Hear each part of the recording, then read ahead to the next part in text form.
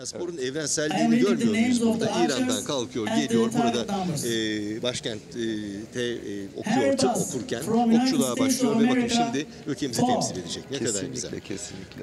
Ve bir Arman'ın e, rakibi de evet. Bass şu anda ekranlarımızda. Makaralı sistemde erkeklerde altın madalya mücadelesi başlamak üzere. Metin Hocam hemen bakın şu anda Arman görüntüde.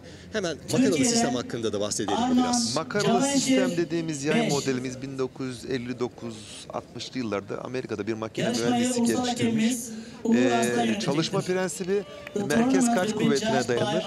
Avcılık için geliştirilmiştir. Yayı çektiğinizde bir e, %70 let off dediğimiz bir bekleme, bir yumuşama süresi yay, Fakat çıkışı herkesin bildiği Hollywood'un etkisi işte bu. başlayacaktır. Rambo filminden sonra. Bu Rambo filminde kullanılan yay modelidir aslında. Ondan sonra bütün dünyada e, bir büyük bir yükselişe geçmiştir. Şu anda hemen hemen klasik yaylarla e, aynı seviyede sporcuya sahiptir. Sadece olimpiyatlarda atışı yoktur. number 25 Avrupa ve dünya kupaları, 41. şampiyonlukları vardır, yarışmaları. E, o da e, kendi içerisinde. E, tetik, mercek, e, su terazi, gez gibi yardımcı ögelerin olduğu bir yay modelidir aslında. Klasik yayda daha böyle duygusal, sporcunun e, kendi yeteneği daha üst düzeydedir. Makaralı'da sonuç odaklıdır, daha noktasal atıştır. Ama kendi içinde yine hepsi zordur. Mutlaka, mutlaka ve evet bu güzel açıklamaların ardından şimdi bu bilgilerin ışığında Evet, bakın tetiği görüyorsunuz. Tetik tam gözün hizasında gezi vardır. Su terazisi. Evet. Bu. Kötü, Kötü başladı. başladı. Henry Bass ve şimdi Arman Camaşil ilk seri ilk hakkını kullanıyor. çok rüzgarlı. Sekiz. Gayet güzel. Bu arada Amerika Birleşik Devletleri'nde e, makaralı takımda ok atmış bir sporcudur. Dünya klasmanında bilinen bir sporcu. Nine. 9 ve Alet kullanılan yaylara baktığınızda zaten yüksek teknoloji ürünü olduğunu görüyorsunuz. Evet 10 puan çok güzel. Arman'dan Çok 10 güzel. puanlık atış. Şimdi bu rüzgarı Arman'ın kullanması lazım. Bu avantajı kullanması lazım. Kolay kolay kaçıran bir sporcu değil Amerikalı. Evet 10 puanlık bir Evet. atışta şimdi geldi. Vurguladığın gibi Henry Bass hakikaten önemli bir sporcu ve farkın açılmasına izin vermedi. Arman'dan 8 Evet. puanlık bir atış geliyor. Evet. İşte şimdi rüzgarda olduğu zaman rüzgarın e, çok etkin olduğu Üç dönemlerde her an her şey değişebilir öyle değil mi? Sen şimdi sporcu, kesinlikle. sporcu da olduğun için aynı zamanda bunu 26. çok iyi biliyorsun sevgili Metin. Rüzgarın şöyle etkisi oluyor. 26. Yani e, hedeflerimiz bizim e, bağlıdır, sabittir. Hedef devrilmediği sürece e, 26. yarışmaya devam edilir. Yani rüzgar rüzgar çıktı, 26. yağmur yağdı. E, yıldırım düşme tehlikesi varsa eğer yarışma iptal edilebiliyor. Ben Antalya'da çok yaşadım mesela Evet, bunu şimdiye evet. kadar. O yağmurun altında nasıl ıslandıklarını bilirim sporcuların. Kesinlikle. Ama devam etti. Bir şekilde devam etti. Yarışma devam eder. Bir de Ok şu- yaydan çıktı bir kere de. Çok güzel. Ok yaydan çıktı. Bir de şu var. Şimdi sizin oku attığınız yerdeki rüzgarla ben bunu da gördüm aslında. Evet. Şimdi hedefin bulunduğu yer çünkü 70 metrelik bir mesafeden bahsediyoruz. Makaralarda 50 klasiklerde 70 Değil mi? atıyoruz. Evet. Şimdi burada e, o iki yer arasındaki mesafe e, rüzgarın da farklı olduğunu gördük. Kesinlikle mi? kesinlikle hava sirkülasyonu vardır. Mesela 2004 olimpiyatlarında Atina'da yaklaşık 6 tane hava akımı ölçmüşler. Çok ilginç. Yani havada ok giderken e, 50 metre boyunca bazen sağ taraftan bazen sol taraftan. İşte bakın mesela rüzgarın şiddetine bakar mısınız şimdi? Evet. Yönetmenimiz hemen e, gösterdi ve hakikaten e, şimdi ve bir de dediğiniz gibi far, altı farklı e, akımdan bahsediyoruz öyle değil Evet. mi? Yani şu anda da mesela atış At- Atina'dan Evet. bahsetmiştik ama atış alanlarında mutlaka rüzgar e, bayraklarımız hedefin üzerinde vardır. E, bunlar rüzgarın yönünü belli eder. Fakat ok havada o hedefe doğru giderken bulunduğu yerle hedefin bulunduğu yerdeki rüzgar akımı farklıdır. Onları hesaba katmak zorunda bir sporcu. hakikaten kolay değil. Hakikaten çok çok zor bir sporcu için ve onunla başladı bu arada. Evet. ikinci seride ilk hakkına Birleşik Amerikalı sporcu. Arman'a geçiyoruz.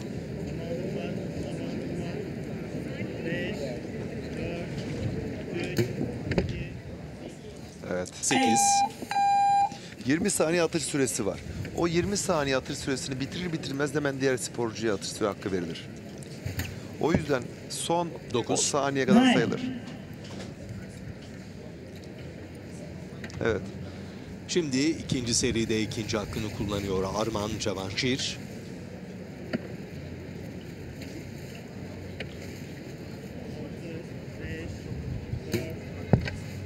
Evet çok güzel. Bu Dokuz. rüzgara göre gayet güzel.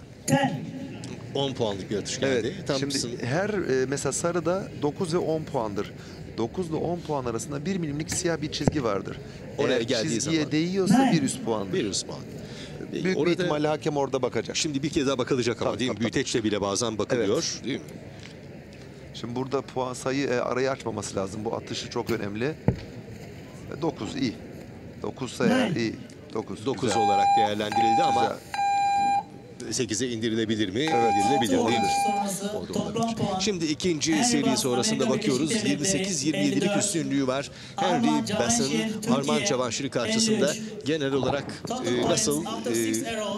Henry Bass from United States of America 54. genel olarak Arman Cavanşir Arman Cavanşir'in Henry Bass karşısında 53. başa baş bir şekilde e, mücadeleyi sürdürdüğünü görüyoruz. İşte rüzgarda kontrol altına e, mümkün olduğunca tabii alınırsa, heyecan, odaklanma tabii ki kontrol altına alınırsa her şey daha rahat olacaktır. Burada başarıyı belirleyen dikkat ve odaklanmadır. Zaten okçuluk yüzyıllar boyunca insana e, bu özelliğini sağladığı için çok e, göz önünde bulundurulmuş, çok değer verilmiş. E, ne kadar e, kuvvetli olursa olsun rüzgar özellikle konsantrasyonu ve motivasyonu yüksekse eğer sporcu bir şekilde atıyor. Bir şekilde onu o arayı bulup atabiliyor ona. Mesela Korelileri bu, bu e, olay için güzel bir örnek olarak belirleyebiliriz Evet, herhalde evet, değil mi? kesinlikle Rüzgarı Kore. dinlemezler mesela. Ne dersin? Sahaya geldikleri zaman e, Koreli antrenörlerle konuştuğumuzda şunu diyorlar. E, bizim sporcumuz sahaya girdiğinde evet hava rüzgarlı ne yapmam lazım diyorlar. E, fakat yani diğer batılı ülkeler diyor sporcular sahaya girdiğinde evet rüzgar var kötü atacağız. Çok Hani güzel. e, İşte mentaliteleri çok farklı. Çok pozitif bakıyorlar olaya. Çok ilginç. Hayır şimdi şu var tabii sporculuk döneminde de çok kez o Koreli sporcuları yakından gördün, hocalarıyla konuştun. Yani bir sporcu olarak şu anda yorumcu konumunda olman beni çok ilgilendiriyor sevgili seyircilerimiz açısından da çok önemli. Şimdi antrenörsün, hocalık yapıyorsun. E, Bütün bunlar çok önemli çünkü çok yakından görüyorsunuz. Evet. Bu olaylara yakından tanıklık ettiniz öyle değil mi? Selin Milan Kütük 20A Paulino Sogomis 21A Lulia Cordova 22A Melike Karalı 23A Hürrem Sultan Özcan 24A Ve sayın seyirciler şimdi de üçüncü serideyiz ve ilk haklar kullanılıyor. Üçüncü seride ilk oklar atılıyor. 10. 10 puanlık bir atış geldi. Henry Bass ona 19'a çıkardı puanını bu seri itibariyle. Tekrar Arman'a dönüyoruz. 10. 10 puanlık bir Arman, atış da evet, Arman'dan güzel. geldi. Şimdi ikinci oklar. Üçüncü seri itibariyle. Dünkü Dokuz. sıralamada da bir bitirdi zaten Amerikalı. Evet yetenekli bir sporcu olduğu belli. 9 ok sonrası toplam puan. Hani Henry Türkiye'den Amerika Türkiye Birleşik sıralamasında ilk 82, 16'ları aldık ama aynı zamanda yurt Cavanşir, dışından da özellikle Türkiye, e, World 80. Archery Dünya Okçuluk Federasyonu zaten Dünya Okçuluk Federasyonu Başkanı e, Profesör Doktor Uğur Erdener, e, Türkiye Olimpiyat Komitesi Başkanımız 27 aynı zamanda. Dünya Olimpiyat Komitesi yönetiminde görev aldığı 27 için bu yarışmaya özellikle çok önem gösteriyorlar. 28 A. Dünyanın her ülkeden en iyi sporcular e, kendi ülkelerinde sayılı 28 sporcuların geldiği bir yarışma oldu şu anda. Kesinlikle Ve seviye yüksek. önümüzdeki yıllarda kalite giderek artıyor. Yani uluslararası bir arenaya arena olma yolunda ilerliyor. Ve tabii geleneksel tarafının da olması, e, çok güzel görüntülerin ortaya çıkması, şenlik havasında olması apayrı bir renk katıyor. Bunun nedeni nedeni şudur. Okçuluk e, her ülkenin ortak atasporu. Yarışma atışı 2 Çok eski. Çünkü Bundan- insanların avcı toplayıcı yaşam tarzına kadar gider. Neolitik çağa kadar da öyle. Daha devlet millet kavramı yokken okçuluk varmış. Kesinlikle. Çünkü insanlar toplumsal e, yaşamla ilgili e, sosyolojik bir durumda karşı karşıyayız. Bu arada bir itiraz kabul edildi zannediyorum. 28-28'lik beraberlik Evet. var şu anda. Ve dördüncü seriye geçiyoruz. Şimdi dördüncü seriye girerken 28-28'lik beraberlik e, vardı. Üçüncü e, seri itibariyle. Şimdi dördüncü seriye giriyoruz.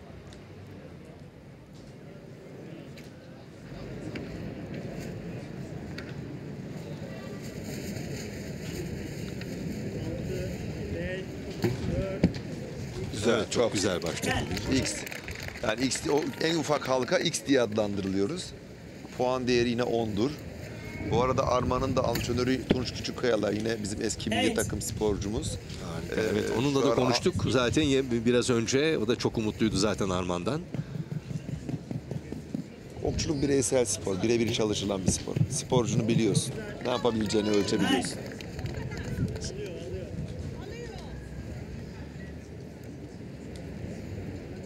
Şu anda 99 Arman Cavaşir toplamda. Evet. Ondan Henry Bastan 10 puanlık bir atış gelince 1 puan önde şu anda.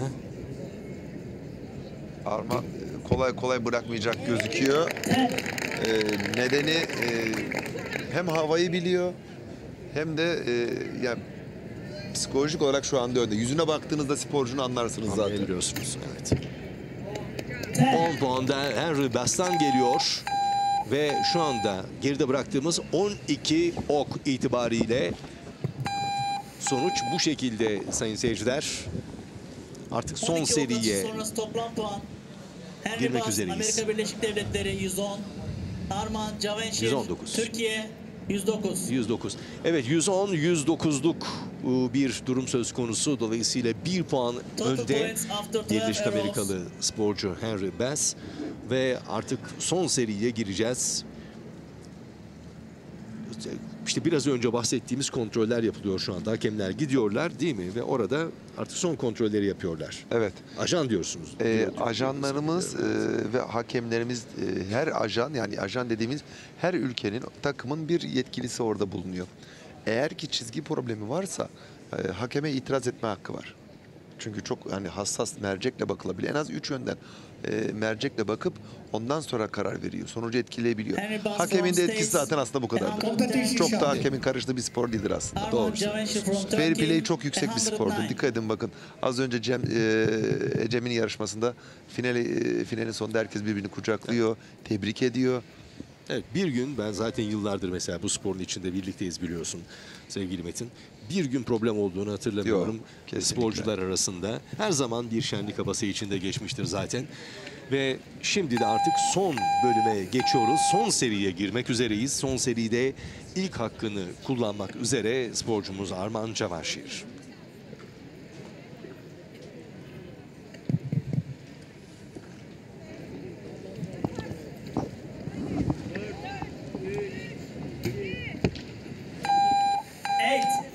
8 puanlık bir atış geldi.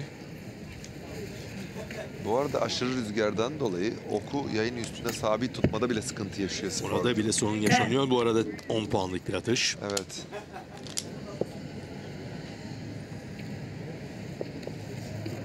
Finallerde zaten çok az puan farkıyla e, belli oluyor. Çünkü iyi sporcular ve yukarı çıktığı için Kesinlikle. Bu arada Armand'dan 10 puanlık bir atış geldi. Özellikle kompans sistemde hep puanlar zaten yüksek geliyor. Ve 10 puan yine ederseniz son atış. Amerikalı hep arayı bulup atmaya çalışıyor. Refleks hareketle atmaya çalışıyor. Son atış artık. Aa, çok 10 güzel. puan geldi. Elinden geleni yaptı. Evet, evet. Şimdi burada yalnız 8 Artık- attığı anda Sporcumun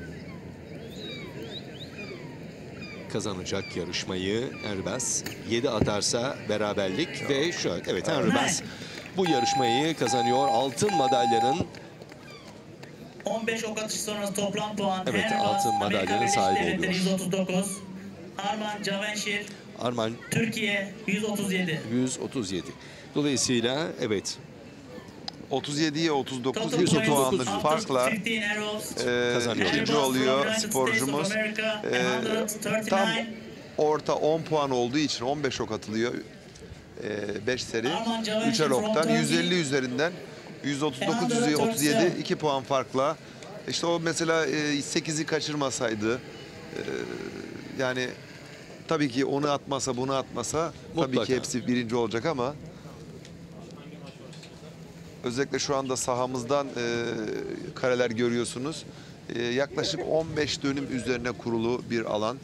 E, bunun e, 12 dönümü e, sportif amaçlı okçuluğa, bu okçuluğun yapımına ayrılmış bir tesis, okçuluk tesisi. Sadece ne okçuluğun yapıldığı bir tesis. E, kondisyon salonları, okçuluk araştırma merkezi, eğitim salonları e, şeklinde kafeteryası, idari binaları türbünüyle e, yo yani yoğun aktif şekilde kullanılan bir alan.